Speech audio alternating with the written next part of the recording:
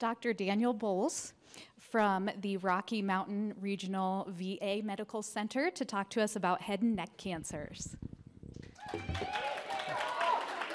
This is, that's right. This is, I feel, it feels a little bit like, you know, when you go to graduation, they say, please hold your applause to the end.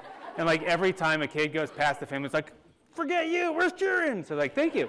Um, it's, uh, it's fun to see uh, so many people here that uh, from different walks of life in my journey here in Colorado. So um, I really appreciate being here. So I'm, I'm here to talk about head and neck cancer. I let Bree put up all the gory pictures, so I will have fewer gory pictures. Because, um, you know, following up sarcoma gore with head and neck gore, nobody needs that. Um, so I, in terms of my talk, I, I gave Sarah a panic attack because uh, on Monday I asked her what she wanted me to talk about, and I, I nearly killed her. But, but more, more, specifically is, you know, all of us who do whatever we do for a living, you know, we can kind of talk for hours and hours and hours, but that's not always very helpful. Um, so my question was like, what do you guys want to know about head and neck cancer? So uh, this talk is based mostly on what I was told you guys wanted to hear. If not, you can uh, save your tomatoes for the end. So we'll cover some basics. Uh, we'll talk a little bit about what happens from someone when they, from the time they get diagnosed, kind of through the end of their journey from a curative intent standpoint uh, because there's a lot of navigating and figuring stuff out and coordination, uh, I think, with head and neck cancer, even more so than with some other cancers. Uh, we'll touch on a little bit what happens when these darn things come back and then kind of wax uh, sentimental about some things that could be happening down the road. Uh, hopefully, we'll have some time at the end for questions uh, so you can uh, ask until your heart's content. So uh, when we're talking about head and neck cancers, we're mostly talking about squamous cell carcinomas. So that's the, the cell that lines our respiratory mucosa, mouth, you know, nasal cavity, upper airways, uh, top of the esophagus. So those, they're squamous cell carcinomas. We don't, unlike Dr. Wilkie, who has literally like 100,000 different histologies to deal with, we have one. Uh, they, uh, we, when we think about head and neck cancers, we break it down by, uh, by region. So we think about oral cavity cancers. So that would be your mobile tongue, so the part of the tongue that flaps around that you can see when you open your mouth. The floor of your mouth, so that spot right underneath your tongue. Your gingiva and your palate, so those are the oral cavity. There's your oropharynx. Your oropharynx is basically your tonsils and the base of your tongue. So the part of your tongue right behind where you can see, so the ENTs can see it with a mirror exam or doing a fiber optic exam. And then uh, we talk about the hypopharynx, which is basically right beyond that. And then when, you're, uh, when you, your, your, airway splits off into your esophagus and your uh, trachea, you end up getting to your, uh, your larynx or your glottic larynx. So those are the four main areas that we think about.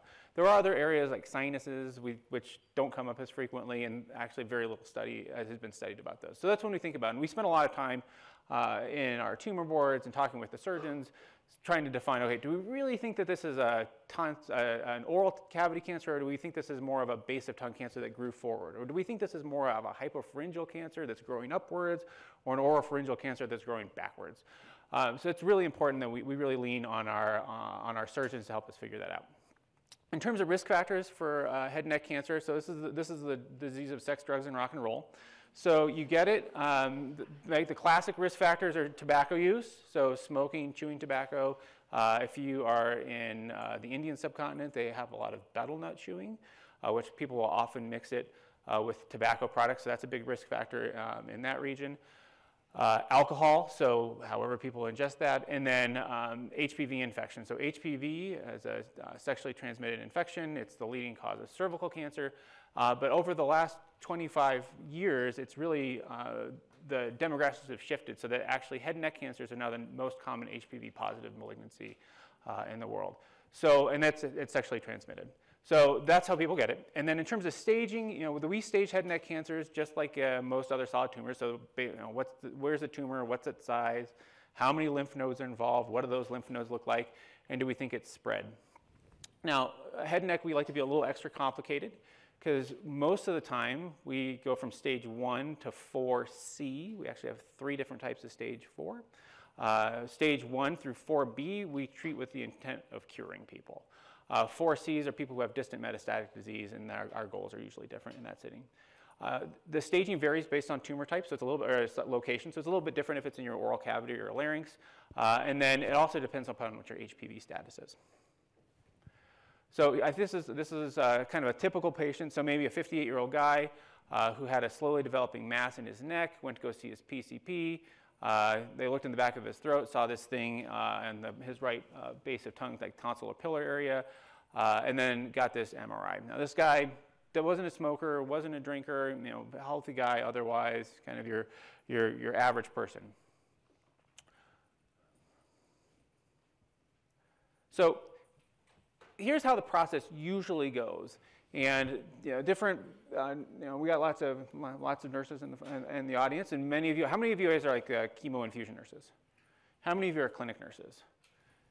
How many of you do something else, which is also amazing that I don't know about?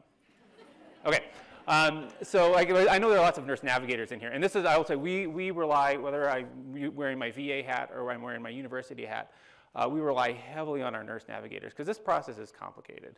So typically the way it works is someone comes in with a suspicious mass, right? Lump, bump, something in their mouth. They get nervous. They see their primary care doctor. Usually they will say, oh, it's probably an infection. You get some antibiotics. It doesn't get better. And then they say, oh, it's probably not an infection. And then they get, they get you know, an ultrasound, a CAT scan, MRI, something like that. They see something scary. They say, okay, you need to go see the ear, nose, and throat doctor. Ear, nose, and throat doctor sees them, says, well, this doesn't look great. Let's biopsy something. And they can do that biopsy in lots of different ways. If it's in the mouth or the, the tonsils or the base of the tongue, they can actually do it in clinic. Um, if it's further down, so it's a, if there's something suspicious on the voice box or in the hypopharynx, that's a pretty sensitive area to try to biopsy in the clinic. So you, they'll usually do that in the operating room. And if there are lymph nodes in the neck, uh, if they're palpable, the ENTs can often biopsy that uh, in clinic, either just blindly or with an ultrasound, or if it's deeper or they don't feel comfortable with it, they'll send them to uh, interventional radiology to get biopsied. So suspicious mass, imaging, ENT, biopsy something. Then, the, then when they do the biopsy, of course, they look at it under the microscope in all the usual ways, particularly if it's a cancer of the oropharynx, so again, the tonsil or the base of the tongue. Uh, it's critically important to get HPV testing. When we look at the HPV testing, we don't usually actually test for HPV specifically. There's a surrogate test that we use called P16. So when you're looking at, if you're looking at one of my notes or you're hearing something, you know, people talking, they'll say, okay, this is a P16 positive head and neck cancer, and we'll say, okay, that's an HPV positive. It's just P16 is uh, a lot cheaper to get. It's uh, readily available throughout the world, uh, and it's a really good marker in general. So that's why that's done uh, more, more commonly. And then at that point, basically, uh, I wouldn't say all hell breaks loose, but like a lot of stuff gets, starts getting activated in a very quick period of time. So usually once that diagnosis is made, they've already usually established with an ear, nose, and throat surgeon, but they get referred to radiation oncology, medical oncology, and I always tell patients it feels like you're running around with your hair on fire for a little bit of time because there's just so much stuff happening in the short term. So this is this is you know where uh, y'all come in, which is like every step of the way. I know I was like, oh, so and so needs to you know get this done, and like, uh, my nurses are like, all right, we're on it. And I talked to so I talked to this person, I talked to this person, because there's just like there's so many different people involved. Um, for instance, so you get this head, you know, HNSCC, so that's head and neck squamous cell carcinoma.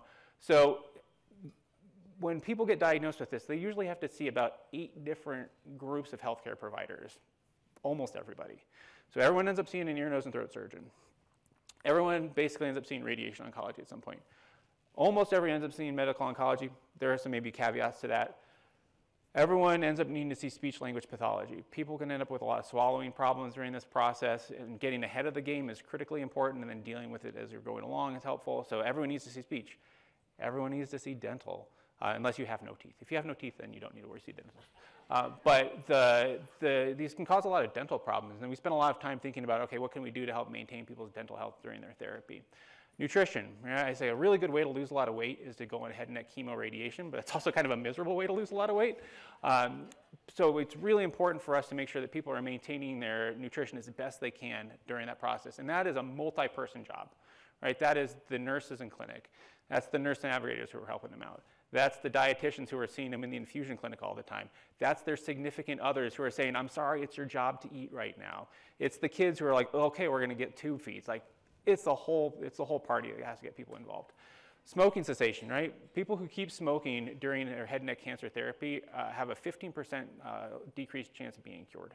So even if they were smoking up to the day they started radiation, stopping smoking helps uh, improve their chances of being cured. So that's critically important. And then social work. A lot of our patients um, uh, can live on the periphery of society a little bit um, and have a lot of social needs. So social workers are critically important. So all this this is the, this is basically everybody who ends up seeing us for uh, curative intent therapy, uh, and the nurses and the nurse navigators are critically important in helping coordinate all that stuff.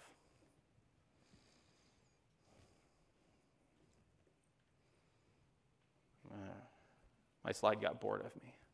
All right. So in terms of how we treat these things, so we rely heavily on the NCCN guidelines. I suspect many of you guys have heard about these before.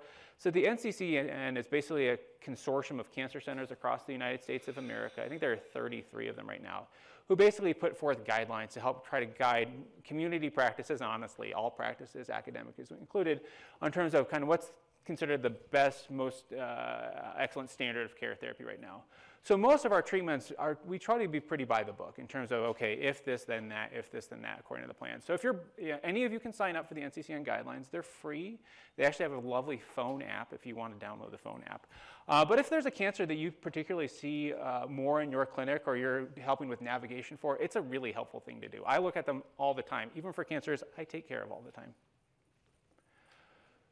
So rather than getting too into the weeds in terms of how do we do this for every individual thing, here's how I generally think about it. So if someone has an HPV negative cancer, so that's kind of the classic smoker drinker cancer, everyone needs a multidisciplinary evaluation. So we, you, we just described what that discipline is, surgery, radiation, medical oncology, you know, other groups involved. And basically, if someone's got a stage one or a stage two head and neck cancer, we can typically treat them with a single modality. So that would be surgery or radiation. Uh, it's never just chemotherapy uh, for curative intent.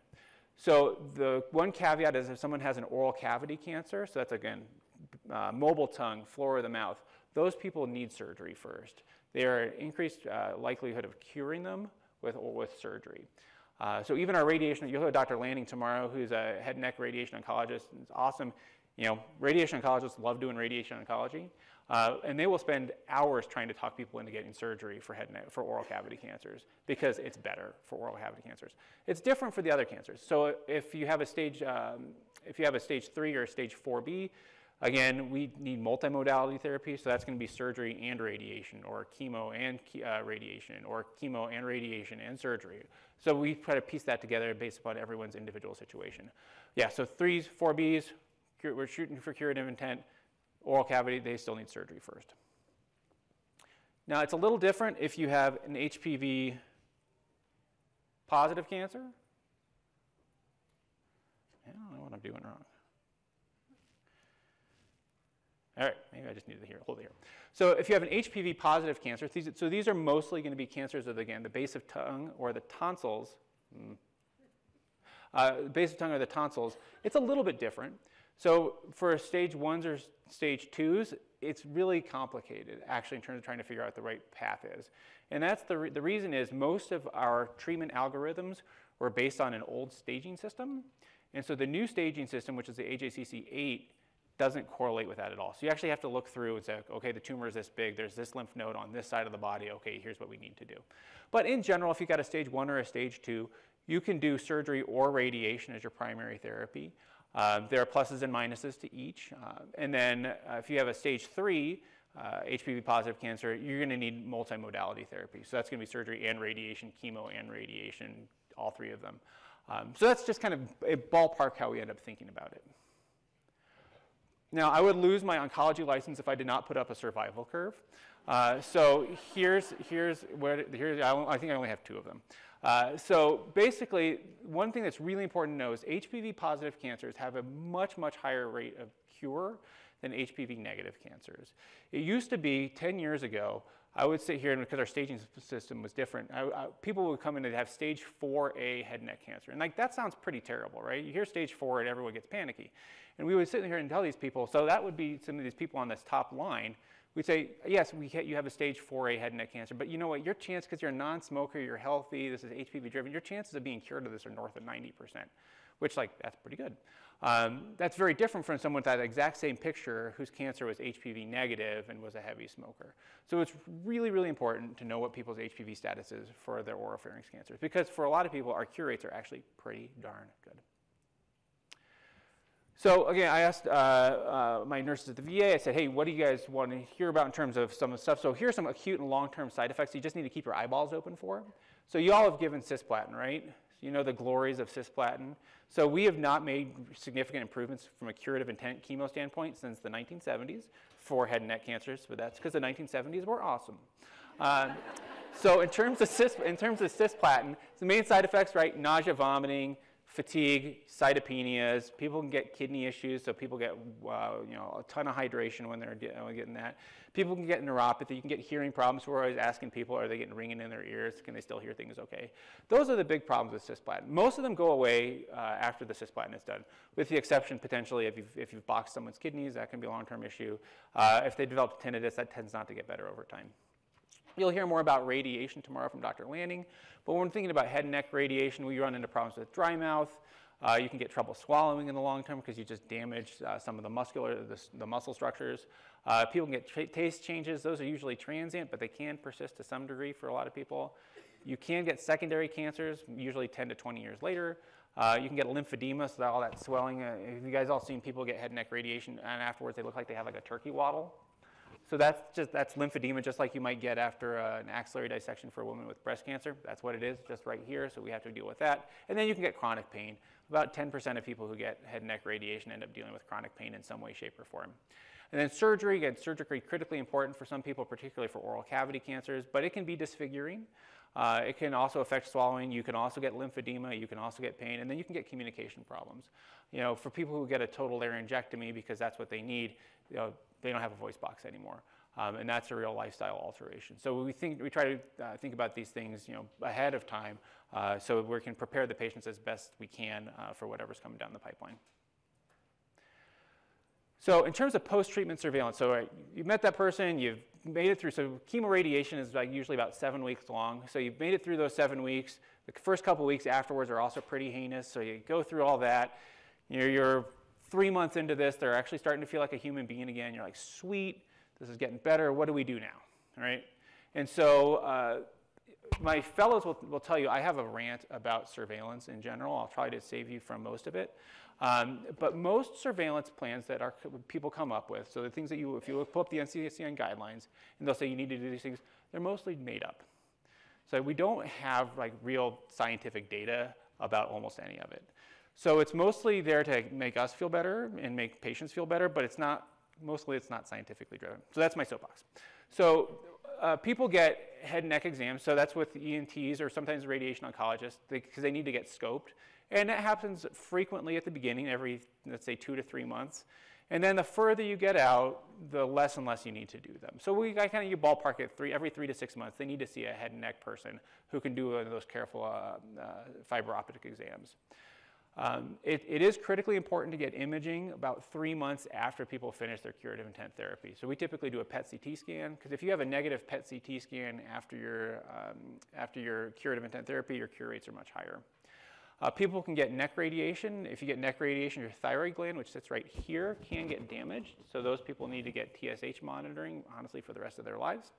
Um, there's a test uh, called uh, NavDx, which is a self, uh, cell-free DNA based test looking at HPV uh, that uh, is used in some institutions. I would say the data on that are developing in terms of whether that's actually helpful or not. Uh, so it's not something that I do in my routine practice. Uh, I know some other folks in the community do. And then in terms of supportive care, so all those things that they needed while they were going through their, their curative intent therapy, most people actually continue to need in some way, shape, or form. So they still need dental. People have chronic dry mouth are going to have more dental problems in the long run. They still need to see speech language pathology because swallowing is never quite normal afterwards, or at least not for a while. Nutrition continues to be an issue. Lymphedema, that's when all that stuff shows up. Audiology, a lot of people developing hearing develop hearing problems as a result of cisplatin and need to get hearing aids or other stuff like that. And then again, substance abuse. If they got into this problem in part because they were smoking, they're having alcohol issues, they need to get those issues addressed as well. So that's head and neck, mostly what we do in terms of most of our patients we treat with curative intent, honestly, it goes better uh, more often, I think, than we sometimes give ourselves credit for. And so there's that. Now, it doesn't always go great, though. So head and neck cancers can recur, of course. Uh, when they recur, they're actually the most common to recur in the head and neck area. So our, our staging is actually very focused on what's going on up here, because most people who die from head and neck cancer die from local problems from their head and neck cancer, but it can uh, metastasize to other locations. So here's you know, a PET CT scan of one of our patients who, uh, every place that's dark with the exception of the brain is the place where the cancer came back. So that was not great. So in terms of our systemic therapies, so unlike, uh, you know, you heard a breast cancer talk earlier today, breast cancer has like a million drugs uh, that we use. Myeloma, I talked about myeloma person here earlier today, like literally a million drugs. Head and neck cancer, we have like five. So it makes it easy for people who are simple like myself because you don't have to remember that much. Um, so the, there was a regimen called um, the Extreme regimen, which was kind of the baseline for a lot of things for probably 15 years. Uh, then pembrolizumab, which is a checkpoint inhibitor, came along, surely showed some benefit in the second line setting, and then got compared to chemotherapy in the front line setting. Uh, so this again is uh, my only second, my second Kaplan-Meier curve of the day, and I think hopefully my last. Um, basically, you can see that the people on the top were people who were treated with uh, pembrolizumab. The people on the bottom were treated with chemotherapy. It's better to be on the top than on the bottom. Uh, so basically, the people's cancers did better. People lived for a longer period of time. It took a longer period of time for people's cancers to get worse when they're treated with immunotherapies up front. So most of us, if the cancers come back, spread, et cetera, will lean heavily on the immunotherapies in the frontline setting, uh, whether that's immunotherapy plus chemotherapy or, chemother or immunotherapy all by itself. There are different reasons to choose one versus the other, but that's, that's what we'll mostly do. Now, unfortunately, you know, it doesn't work cure people most of the time. Uh, there are occasional situations where you have these phenomenal responses and people's cancers don't recur. Um, but that's not the expect expectation, and that's certainly not what we tell people is going to happen. I think that's disingenuous. Um, but in the second line setting, so if that doesn't work, like we kind of have good old fashioned chemotherapy or clinical trials. So there's a lot of room for opportunities to improve there. So that, that's kind of head and neck cancer in a nutshell. Uh, so one of the things I was also then thinking, well, what are some new things that are coming down the pipeline for head and neck cancer? So one is, uh, is there a type of radiation that's better than another type of radiation? So most radiation treatment machines uh, in the U.S. right now are photon-based. Again, you'll hear more about this tomorrow. But then, you know, if you go to if you think about radiation, that is the vast majority of the energy sources. There are some, uh, there's a different energy source called proton therapy. Uh, protons are, require uh, much bigger machines, much bigger space. They're much more expensive to build. And there are not that many of them in the US. I don't know what the number is right now, but it's probably in the 10 to 25, uh, 10 to 20 range. Um, there's not one in the state of Colorado. Uh, so there is some questions in terms of studies that are ongoing looking at protons versus photon-based radiation therapy for head and neck cancer, and does one yield better survival, better long-term side effects, et cetera.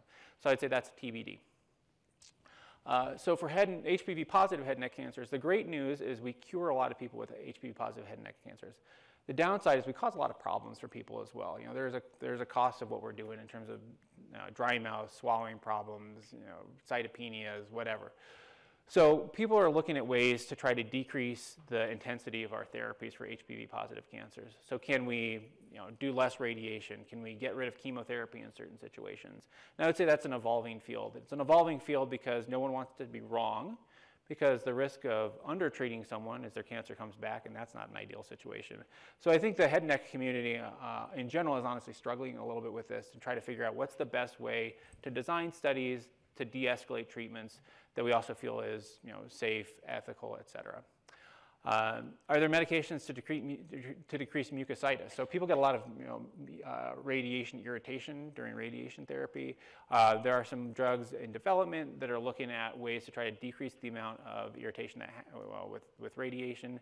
If we do that, does that mean that people will have better swallowing outcomes in the long term, lose less weight, et cetera?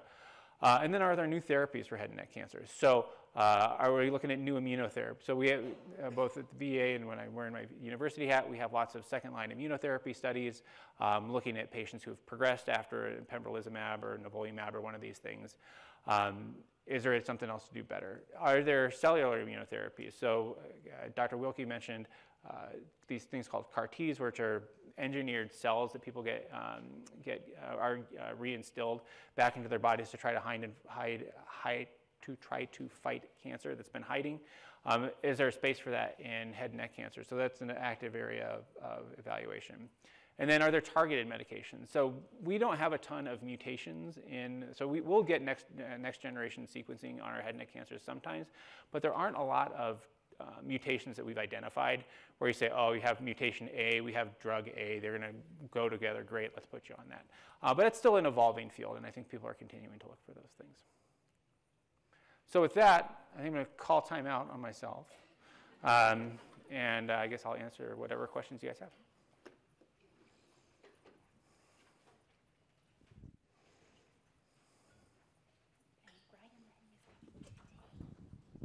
Oh, Ryan's coming today.